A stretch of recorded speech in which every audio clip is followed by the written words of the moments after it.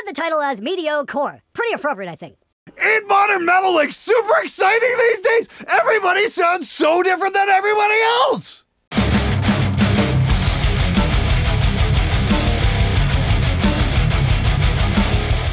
Hey everybody, how's it going? Welcome to SMG Viewers Comments, episode number 359, my weekly show where I try and answer your comments and questions to the best of my ability. If you've got a comment or a question about recording, guitar, amps, uh, more recording guitars and amps, that sort of stuff, by all means, leave it below. If it's cool, if I think it can help somebody, I'll be more than happy to put it on the show. So let's cut the bullshit and get right to it. I don't really think Glenn is qualified to do a review of a guitar. He's good at a lot of things. Playing guitar is not one of them.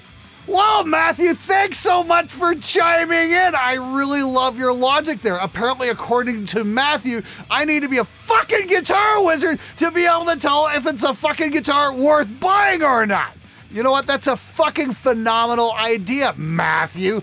By that logic, you shouldn't be able to comment on a YouTube video because apparently you suck at it. We checked out your channel. There's nothing there. How dare you comment on the quality of my video? Fucking bite me. Here's something. I might not be the world's greatest shredder. I freely admit that. I am a studio engineer first and a guitar player second. However, I will say this. I do have 27 years of experience in manufacturing. I built minivans for Chrysler and then I graduated to doing safety and training videos. I spent an awful lot of time in that paint shop creating training videos for workers so they could identify and fix defects. So if you wonder if I'm qualified or not to check out the craftsmanship and the workmanship on a guitar, especially when it comes to paint and finish, you bet your fucking ass I've got experience with that. That was literally my fucking job. You don't have to be a shred guitar player to find flaws in a paint job. You know, Matt, I've given your comment a lot of thought, and you know what? I'm going to make a special award for just for you. You get the dumbest comment of the month. Congratulations, you're a winner. Do you have a video on mixing bass guitar on the channel? I searched the channel and scrolled for a while, didn't see anything specific. If not, your take on it could be interesting to see. Well, I've got how to record heavy bass. That's a very popular video. That got several hundred thousand views. It's definitely worth taking a look at because I do take you through some basic bass mixing techniques. Um, there's also like my review of the Darkglass amp where we mic that up and I take a couple different approaches on that. Uh, it's not quite specifically about mixing bass, but I think it could be helpful to what you're doing. Now, the really exciting thing is, is what we've got coming up from Spectre Digital in regards to bass guitar. I can't tell you any details yet because everything's still locked down. We're embargoed from releasing anything out into the wild yet. But I can say this, it's going to take a lot of the headaches out of mixing bass guitar and it's going to get you great results with very little effort. We're really proud of this one. I've been using it for uh, the last few months. You guys have been hearing it on pretty much every single mix I've done. And if you like the bass tones I've been getting, you're really really should get excited about what's coming from Spectre Digital. Have you heard of the Eminence DV77 speakers? They are solid competition for the V30. I know Kristian Kohle has some content on them, even a great IR pack. Would love to see you do an in-depth review of these speakers, but I'm finding myself leaning toward these more and more in my mixes, especially for rhythm tones. Love your show. The wife and I really enjoy watching. Keep up the great content. Hey Hayden, you know what? I actually do have a DV77 sitting over in my Engl cab. Um, I really do need to do a show on it. I'm seriously overdue on it. But yeah, I think you're absolutely right. The DV77 is some serious competition and well overdue for some competition to the Vintage 30. Uh, that's a great thing. I like what's going on these days in terms of uh, new speaker designs and whatnot. There's some truly cool stuff coming out. We've got the DV77, we've got the Hesu Demon, we've got some of the Modotone stuff like the Greyhound. Uh, that's coming out. Uh, I really want to take a look at some of the Scumbacks and maybe the Fanes, and there's a couple other brands I want to check out. I really want to get into speakers this summer and uh, just see what I can come up with because I think that's the last great frontier when it comes to guitar tone is the speaker because that's truly the most important part of your signal chain.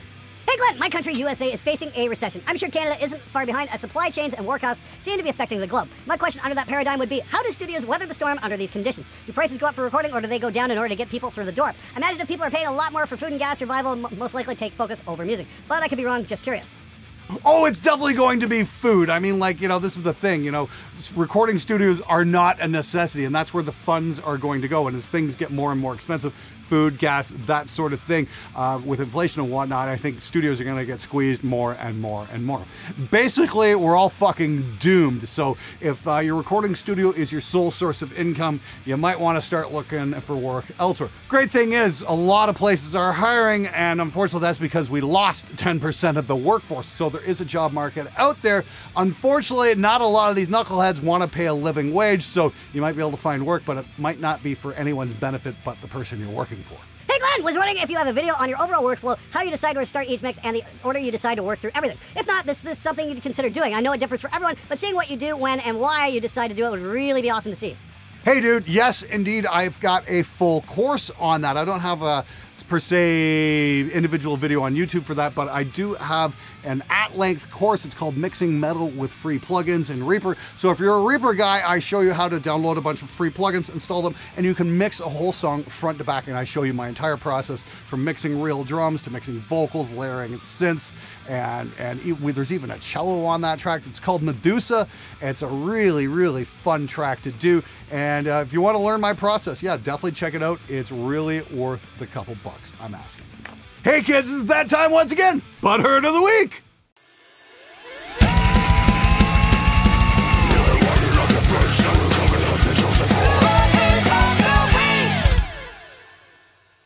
Stop with downplaying how the guitar wood doesn't affect the tone based on your silly little experiment in an enclosed environment which none of us play in. The type of wood the guitar is made of definitely affects the tone. So there's no tons of evidence that it doesn't, so stop with your false information BS! Hmm, false information BS. Um, let me just read. Re- hmm, let me just read that back again for you. So there's no tons of evidence that it doesn't. So stop with your false information BS. Dude, did you just use a double negative because you just agreed with me? Yeah, you're right. There is no tons of information out there uh, that variances in solid body electrics, uh, in the wood anyway, will affect the tone in any kind of significant manner. In fact, I went as far as to have this guitar and another guitar built exactly the same way with the exact same hardware and pickups. And guess what? They sounded the same fucking way, you dumb shit! Look, you can say, oh, well, you're in a controlled environment. Yeah, a recording studio where bands come in and track guitar. It doesn't matter the environment you're in. That's not going to change what happens. And that is strings moving through a magnetic fucking field. There's no magic going on here. This doesn't have a soul. This doesn't have anything. It is it is ballast for the strings to react against. The tone is coming from the strings reacting with the pickups. That's what's happening there. Jim Lill did an amazing video where he got rid of the body of the guitar. Look, I understand you don't like the conclusion I came up with, but the only thing that beats a science experiment is a better science experiment. And you don't have that. You've just got your dick in your hand. People are fools to concern themselves with vacuum tubes or what the guitar is made of. What is highly important, a player of all apparently, is guitar paint. Wow, somebody certainly hasn't been paying attention now, have they? Sure, I've been going on and on about Gibson's terrible paint jobs, and that's because it was a $2,800 guitar, you stupid shit! Fuck! When it comes to tone, the most important part of the sound is going to be the speaker. It's not the tubes, it's not the tone wood, it's the fucking speaker! You want me to slow it down and say you so it even gets through to your thick fucking skull? The most important part of the guitar signal chain on an electric guitar is the speaker. There, have I said it clearly enough? Has that got through? Has your puny little mind computed it? Good! Now, when you're throwing away thousands of dollars needlessly on a high end guitar that you certainly don't fucking need, obviously the finish is going to come into play, especially if you want to sell that guitar down the road at some point.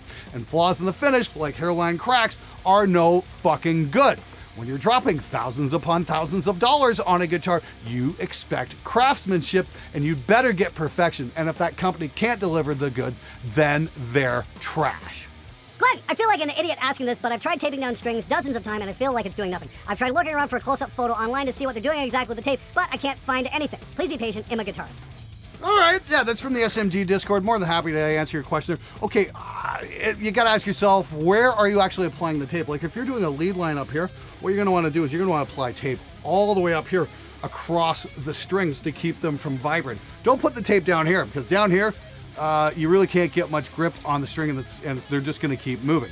But if you do stuff like up above the 12th and tape off the strings you're not using, that's going to help. If you're doing a lead line down here, you can tape here, you can tape the other strings around it, but make sure they're up on the neck to a point where the string is actually vibrating and moving a physical distance.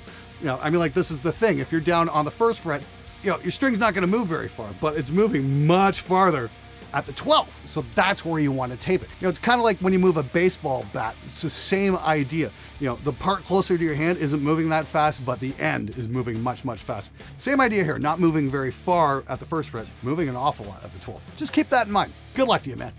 Hey Glenn, forgive my stupidity for asking, but is there a point to having physical effects pedals apart from tremolo or wah when you can get the effects for a lot less or for free with software?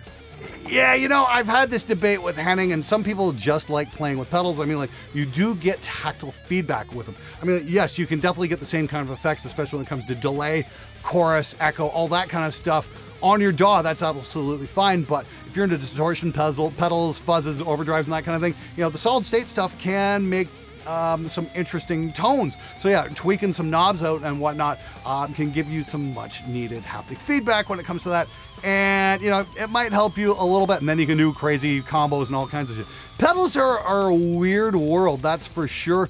Um, they're not a necessity, but they can sure be an awful lot of fun. Would you recommend this for someone that can make an amp, DI a bass, but doesn't have an acoustic kit? Only have an electric one, but would prefer to save money being a uni student, and my only other friend who has an acoustic that is used for recording lives an hour or two away. Oh yeah, the really nice compressor. It's it's fantastic. I love the thing. I mean, not only for drums, it's good, but I wouldn't wouldn't use it on an electric guitar unless you're playing clean or something like that. If you're playing distorted guitar, you definitely do not need to compress the signal. Now, it is going to be great on acoustics, that's for sure. You might want to try using it, say if you're recording a vocal or what, because you can use it to clamp down on the signal on the way in. You'll need an external preamp outside of your interface, something that sits on its own, so you can go from preamp to compressor to interface, and that'll get your peaks under control. That's what I'm doing right here. I mean, I'm using a distressor backer, hey, and it definitely uh, clamps down on the signal and keeps me from getting overs.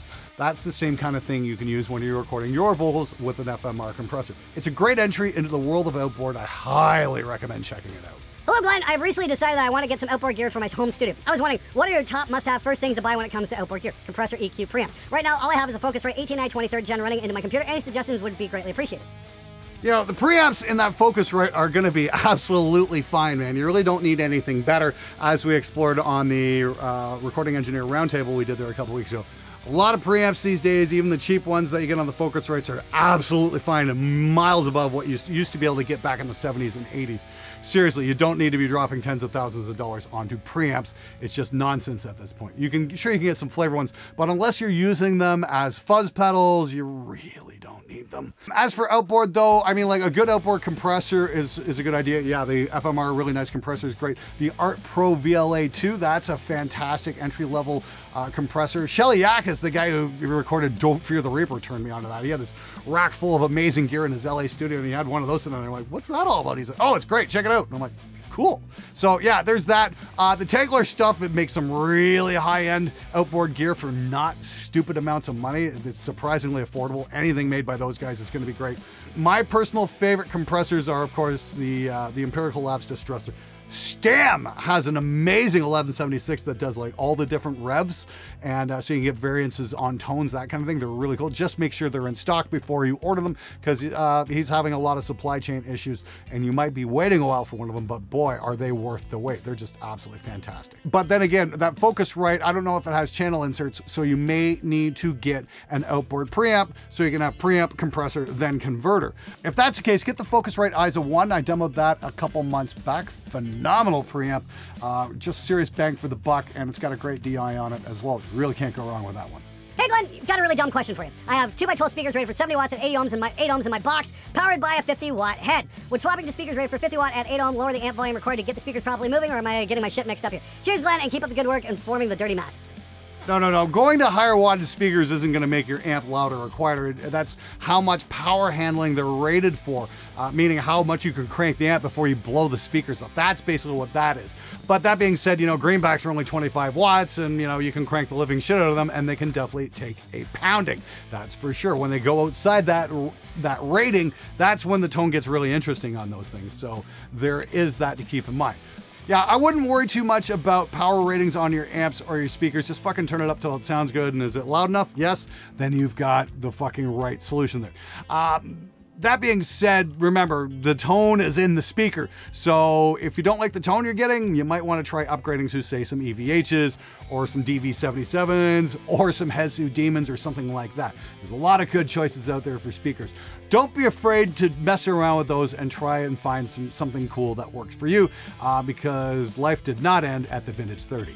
Hey Glenn, two questions here. How often do you come up with new merch ideas on the shop? Order myself the SMG logo coffee mug as a college graduation gift for myself, and I thought of the SMG logo reading bass player tears instead. If you were to take any idea for potential merch, would bass player tears or anything be similar or fitting?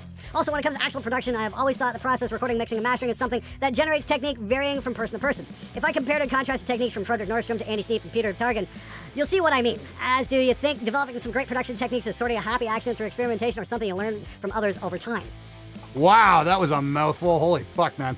Uh, thanks for keeping your questions short and to the point. Um, on the merch thing, yeah, bass player tears might be a fun coffee mug. Um, maybe we can make that happen at some point. Thanks for the idea. As for production, yeah, I think it's a combination of both. You learn what you can from your friends. I mean, like that's what we did with the Andy Sneap forum.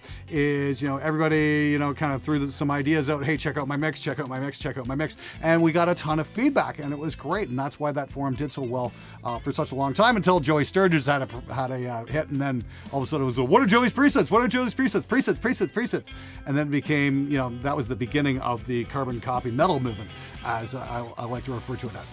Uh, so that can only take you so far. A lot of it does have to go through experimentation and happy accidents and all that sort of stuff. And believe me, I think I don't think you know Nordström or, Bob Rock came up with the on and on axis 57 uh, technique, you know, on purpose. I think it was probably just like something got knocked at some point. Like, hey, that sounds kind of neat. What happens if we apply it this way? What happens if we try pairing it up with another mic facing the right way? You know, I'm sure that that's how that came from. I'm sure a lot of our studio techniques came from some guessing and probably a few drinks were involved as well. So there is that. Being on a Spectre binge as of late, and I enjoy your no nonsense, fuck your feelings approach to presenting information. Plenty of people just want to hear their own opinions echo back to them instead of hearing what they need here. Keep it up and F you. Well, thanks, man. Uh, I really do appreciate the vote of confidence there. Um, after getting hammered in the comments all the time, it's nice to get um, a, a, comment or two supporting the channel. I'm glad I can keep you guys entertained. I'm glad I can inform as well and hopefully challenge some of your preconceptions about recording and where we're going with all that.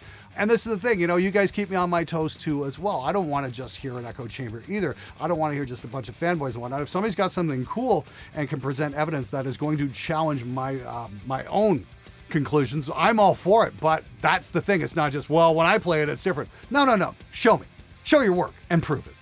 Problem we have today is what I call agony of choice. We have so many options that it becomes easy to think that the next plugin, piece of gear, throw more money at will somehow solve our problems and make us sound great, write great songs, etc., etc. Do yourself a favor. Limit yourself to the most basic tools like only use DAW inbuilt effects and a single amp sim to make music for a set time period, say a month or two, even more. Get to know how those tools work, how you can get the most of them. It may sound weak and stupid, but being limited to a few pieces of gear will focus you. Hmm. Few pieces of gear, you say? Now, actually, I'm in, I'm in complete agreement with you. I mean, like when I was coming up in the 90s, yeah, I didn't have racks and racks of gear or amps or any kind of thing. I had a dual rectifier and uh, like a Vintech Dual 72, and that was about it. And that's what I had to work with. And I did the best I could with what I had. And I'm sure that a lot of us are still doing that. The great thing is, though, you can get amp sims that are going to sound wonderful right out of the box. Um, so those of you guys who don't know what to buy, I'd say, you know, if you want, if you don't know what you're doing and you want to just have something that sound good right out of the box with minimal dicking around, yeah, the uh, Amp One from Bogren Digital is definitely a very good choice. I've got a Fearless Gear review on it on the show. It should have been released by now, and if you haven't seen it, I'd highly recommend checking it out. I can definitely help you get a good tone. I'd say, yeah, if you don't know what to get, start there and work with that for a good six months before you branch out into other amp sims and kind of find your own thing. But the trick is, you do want to keep learning and branch out and not just stick with the tried and true because the tried and true becomes boring and still pretty fucking quick.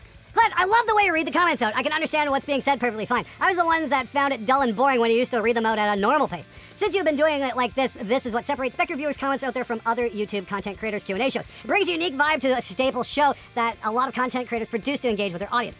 Also, it's a brilliant way to convey the humor and stupidity, particularly in the Butthurt of the Week segment, of what some people come out with. I don't play much guitar anymore, fuck you very much, rheumatoid arthritis, and by extension, I no longer do studio recordings of my work. However, I still watch the show because it has excellent entertainment value. Kia ora from New Zealand. Ah, dude, so sorry to hear about the arthritis stuff. That's uh, really gotta suck.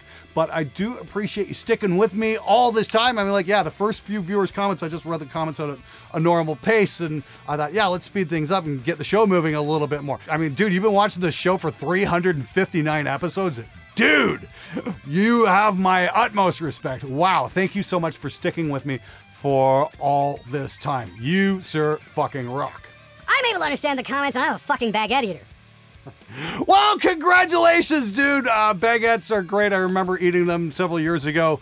Uh, definitely not keto these days, that's for sure, which is unfortunate, but they are fucking delicious, that's for sure. Uh, anyway, yeah, hey, thanks so much for writing in. I love the fact that people all over the world watch this show. That really does make my fucking day. And uh, so, to everybody all across the world who does watch this, I just want to say thanks for sticking with me. Thanks for watching the show. You guys keep watching them. I'll keep making them.